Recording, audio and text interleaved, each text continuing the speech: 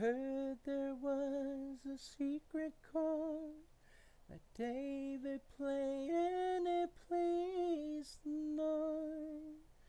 But you don't really care for music, do you?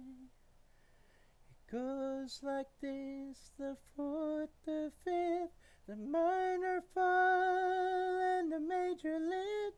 The baffled king composed.